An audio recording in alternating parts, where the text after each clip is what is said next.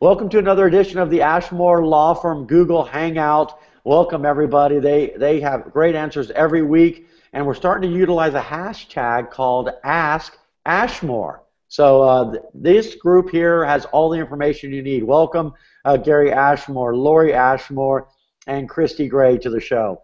Uh, today we're going to be talking about Do I Need a Trust? Now, what I find interesting is uh, Lori wrote an article about this in one of the local newspapers about Do I Need a Trust? And an attorney, she said, not necessarily. I was shocked that you were honest, that you weren't just trying to sell something. Uh, why do you say that? That A, sometimes you may not need a trust. Well, you know, Chris, depending on what your goals and objectives are, you may not need one. And I, in my article, I think I told people, yes, you can pick your chin up off the floor. As much as a, as an attorney, I would love to take money from you. So far, not necessary. Um, there are only really special circumstances. You know, we do trusts for one of a variety of reasons. One is asset protection. Um, that way, creditors, uh, ex-spouses can't get to your money. Another one is for tax planning, but you know we have a 5.34 million dollar estate tax exemption that that knocks quite a few of us out of the need for a trust because of that. The other reasons why you can create a trust is for privacy, which is the big one. Um, another reason why people create trusts is if they have real property outside of the state of Texas, a trust can be very beneficial and can save them a lot of money in the long run. And we can explain that in a little bit. Let's see. The other reasons why you may need a trust is um, if you've got that child or that spouse, and Chris, you're probably going to laugh at this, that is what we call a spendthrift. What that means is uh, whether you give them $50 or $5,000 or $50,000, they're going to spend it like that. Okay. We can create trusts to preserve their money so it lasts a little longer for them. I'm the one that spends all the money. My wife is good at it. Okay. So oh, we'll wait, then I need to talk to your wife. yeah, you need to talk to her about me. Uh, so we'll go through all those specifically, but let's do a big overview first, and then uh, we'll have uh, yeah, some folks ask some questions through Twitter, or Gary can even ask some questions as well. Uh, the main one that people typically ask is, what is the difference between a will and a trust? That's a good question. So people need to realize a will only takes effect when you die. Now, we do have trusts that we create in our will. Again, only takes effect when you die. But then I also create trusts that are effective now, where we call it a living trust. You've created it while you're alive. You have funded it, meaning you've put assets or money in the trust while you're alive. And then it makes the distributions according to the terms of that trust. Okay. And people say, well, is trust only used for money? Not necessarily, correct?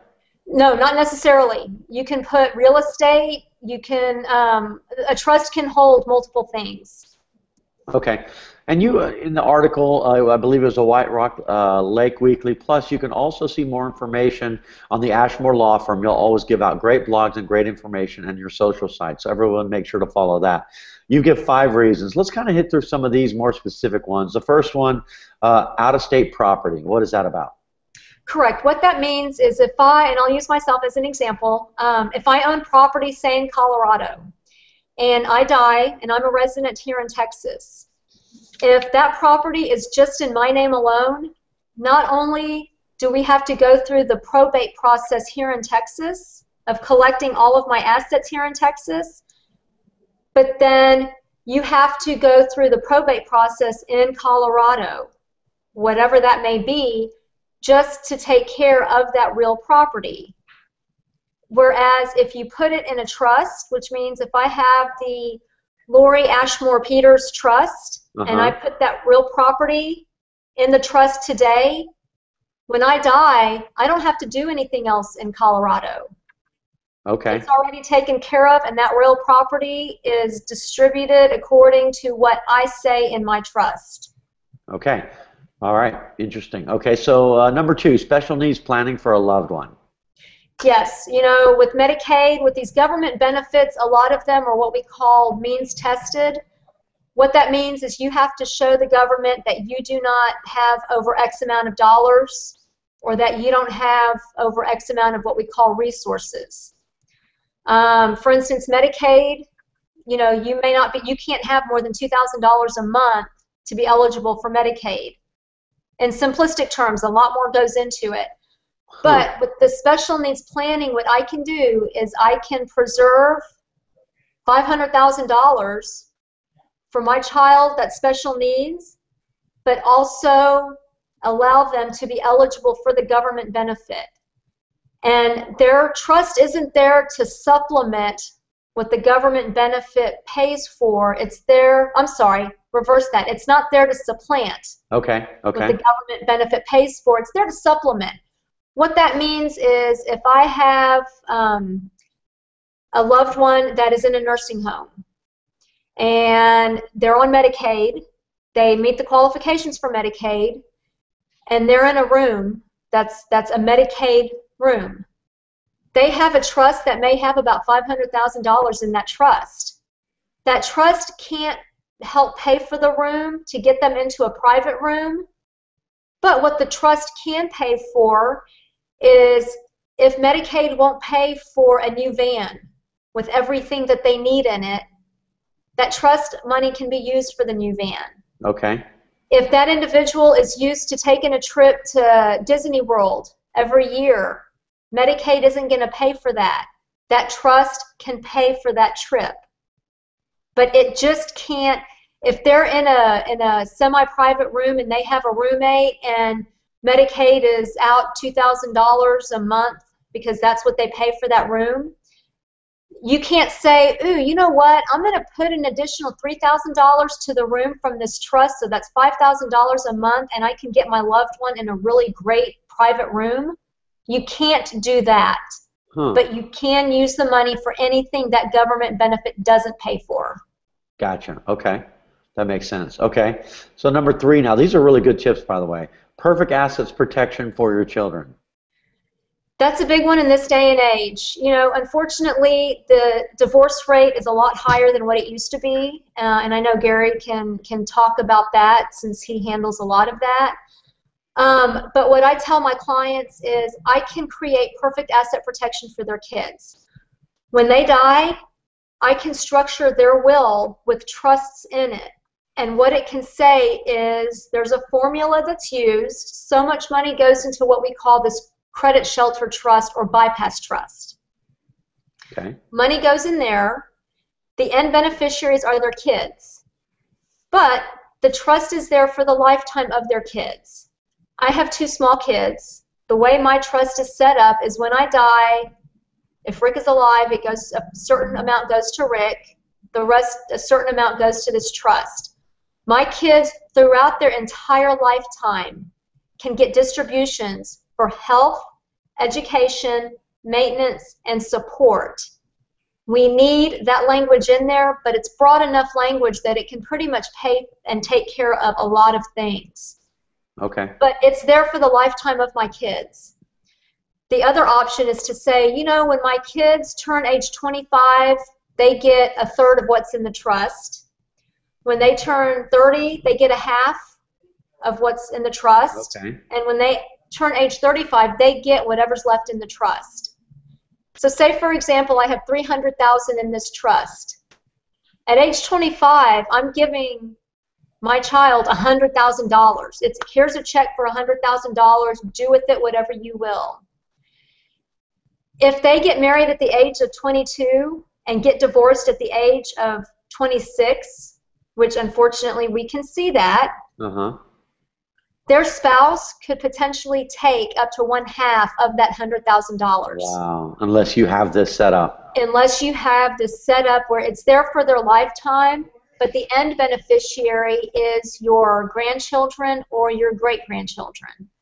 And and Not only that, but if they, at the age of 35, the trust terminates and now they have a million dollars, if they run into what we call that proverbial school bus and, and, and they, they are in a car accident, it's their fault, there are people that are severely injured and they get sued, if that money is theirs outright, then the creditors, the, the defendants can come get to the money. But if everything is set up correctly, they can't come pierce the trust. Gotcha. So Okay. it's perfect asset protection. And Okay. Chris, Chris, And- let me just weigh in for a minute. Yeah, that's what I Uh, was going to toss to you. Go ahead. One of, the, one of the things a lot of people don't understand is they think just because their kids turn 18, they're adults. Um, and that is true legally from that perspective. But from what a lot of what Lori's talking about is you as the trust maker or the one creating the trust can actually dictate at what age your parents or, or what, what age your kids will receive that money. Um, a lot of clients, when I'm talking to them, just assume that I've got this trust, and when I die, it gets paid out to, or, or it's set up in such a way that when my child turns 18, they get paid the money that's in the trust. The the actual trust maker can create what Lori's talking about that you can give them the money or so much of it at age 25, age 28, age 30. I mean, you can pick the ages. We even have some people that um, because people are living longer nowadays, they're creating trusts at an older age, and they're not allowing distributions till their children turn 50 or 55 or Wow. even 60 year old, years old, so as to protect them as they get older. If they are disabled, if they're retired from their job, they've got additional income because it was set up to pay out when they were older in life. Gotcha. And she and Lori mentioned that you do a lot of divorce stuff. How important is it to have this stuff set up when you see cases uh, with divorce? Well, it's extremely important. I'm trying to advise more of my clients to create trusts uh, even before divorce. In fact, I'm doing it uh, advising clients even before they get married. Um, you know, I'm doing a lot of premarital agreements now, um, and that's not to say that if people are on their second or third marriage, it's not a bad idea to create a trust uh, so as to protect their money, protect their assets, keep it for their kids by a prior marriage uh, separate uh, and or just keep their separate property separate from the spouse that uh, that they're marrying. Okay.